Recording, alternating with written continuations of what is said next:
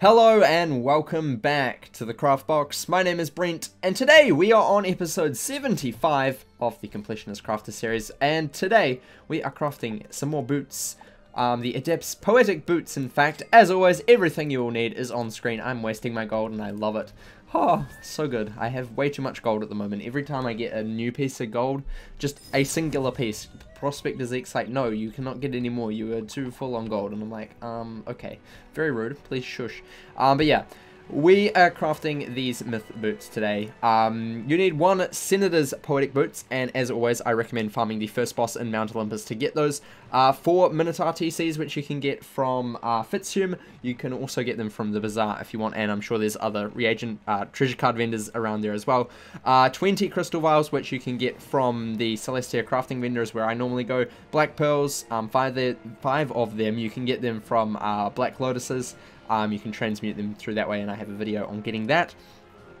Uh, 20 water lilies, I have a video on getting water lily, uh, cattails, um, which you can transmute into water lilies. Blood moss, I recommend farming pink dandelions or gardening pink dandelions.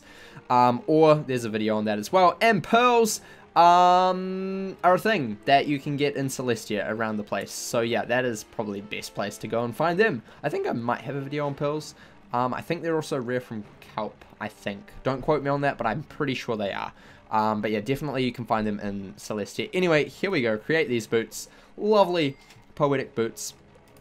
Amazing. Um, and with these, where where where are they? Where are they? They are here. Um, they give 100 max health, 4% uh, power pip chance, 9% uh, death resist, 5% incoming heal boost, 9% uh, life resist, 3% uh, myth accuracy, and 6% myth damage. Myth school only, level 30 plus. As always on as always on screen will also be the Zeus boots, um, which are generally counted as best in slot for level 30. Um, so you can compare to see which ones you prefer. Um, but yeah, otherwise, that is all for today. Thank you for watching. Remember to leave a like and subscribe. If you're a subscribe, press the wee little bell so you know exactly when I post another video. And remember to craft outside the box.